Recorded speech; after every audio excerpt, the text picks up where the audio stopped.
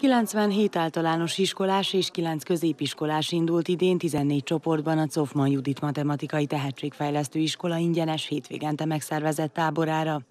A szabadkai Bakács Miksa még csak elsős, de már tudja, hogy szereti a matekot.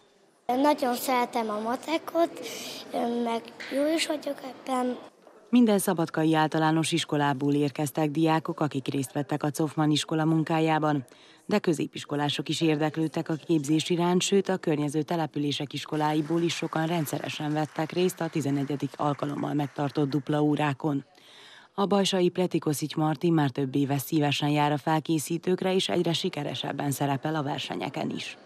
Voltak versenyek, amiken jobban, voltak, amiken kevésbé jól teljesítettem.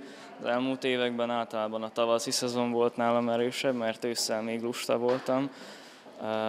Az utóbbi egy-két évben sikerült összeszednem magam, és fejlődnek az eredményeim, és a cofmanos foglalkozások úgy gondolom, hogy ebben segítenek.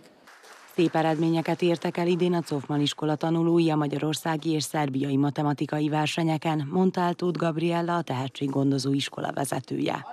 Soha nem késő, minél hamarabb annál jobb, és, és várunk mindenkit.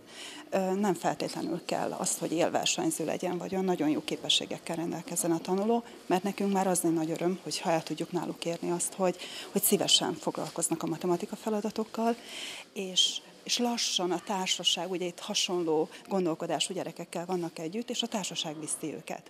Kimagasló eredmény született például a magyarországi Bonifer Domonkos nemzetközi matematika versenyen, ahol négy szofmanos diákot díjaztak.